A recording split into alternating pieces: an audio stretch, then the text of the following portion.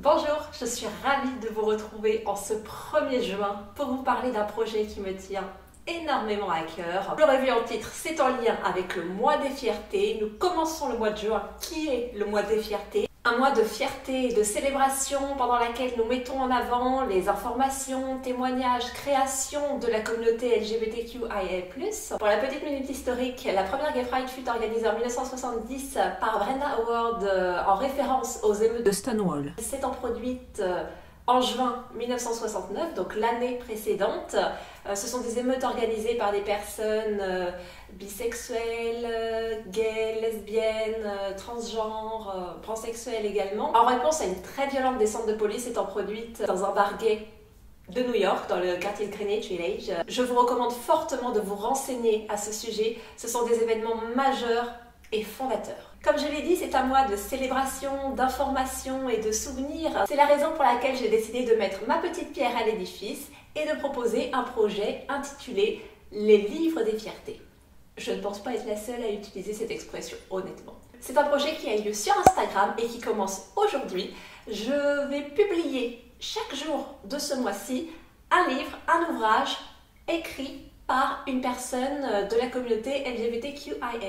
Il est important pour moi de soutenir cette communauté, de soutenir ma communauté, et j'ai enfin la possibilité matérielle et le temps de le faire. J'ai tendance à ne pas vouloir créer de séparation parmi les livres que je présente, c'est-à-dire que je ne crée pas forcément des catégories propres à certaines catégories de personnes, à certaines minorités. Je tends plus dans un espoir vaguement utopique, à mon sens, à vouloir mélanger le plus possible de livres, à en fait faire passer euh, les livres de tout le monde et les mettre à, égalité. Mais je pense aussi que c'est très important de mettre en avant certaines personnes, certains modèles, parce que tout le monde n'est pas représenté à la même hauteur dans la littérature et dans tout le reste de, de, la société, bien entendu. Mais là, je me concentre sur les livres aujourd'hui, parce qu'il n'y a aucun doute sur le fait que certains et certaines d'entre vous ne vous sentez pas représenté par ce que vous lisez, par qui vous lisez. Ça peut aider de découvrir ces personnes, de découvrir que l'on n'est pas seul, parce que non,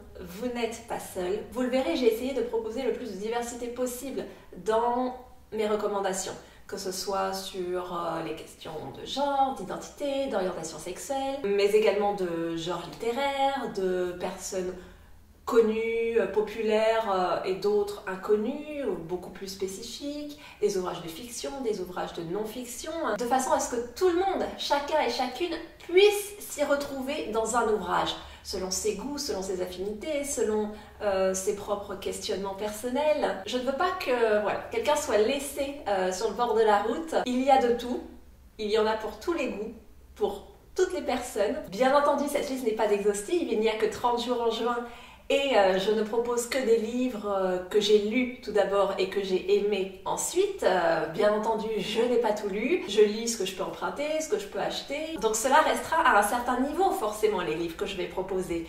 Et c'est la raison pour laquelle je vous encourage vous également à poster en commentaire ici sous cette vidéo, mais également voilà, tous les jours sur Instagram. Donnez vos avis, donnez vos propres recommandations de livres, de films, de documentaires, de témoignages si vous le souhaitez, de tout ce qui avoir trait à ces questions. Parce que c'est important d'en parler, de les mettre en avant. J'ai fait exprès ces deux dernières années de ne pas trop parler de ces livres parce que je savais que j'avais envie de proposer cette vidéo.